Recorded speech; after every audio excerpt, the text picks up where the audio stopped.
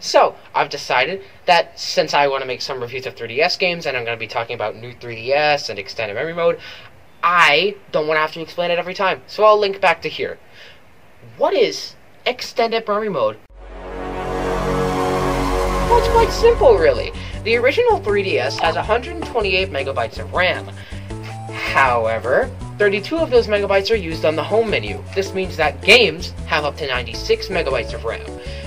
The thing is, some games, they need way more than 96. 96 is, simply isn't enough.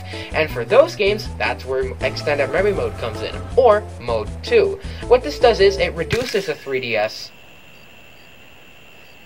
reboots. It reboots the 3DS into a new version of the home menu that only takes up 16 megabytes of RAM.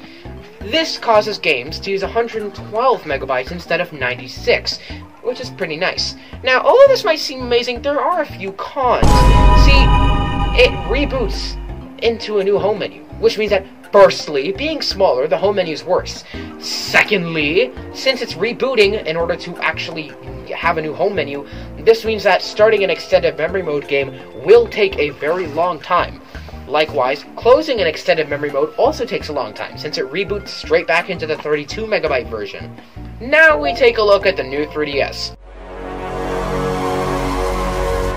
The new 3DS, being more powerful, because that's the point, has 256 megabytes of RAM, and uses 124 for the home menu. This means that at any given time, there's 132 megabytes available for developers to use for their games.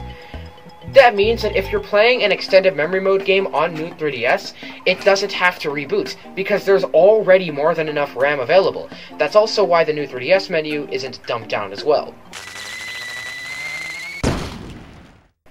In summary, Extended Memory Mode, or Mode 2, means that 3DS games can get extra RAM by rebooting into a smaller version of the home menu but sadly causing the game to take ages to start and stop, and also making the home menu worse when you're playing them. New 3DS users don't have to deal with this. Yeah, that's it. Yeah, that's it. I, I'm gonna go play on my uh, terribly shaped 3DS. Um, yeah, I'm just...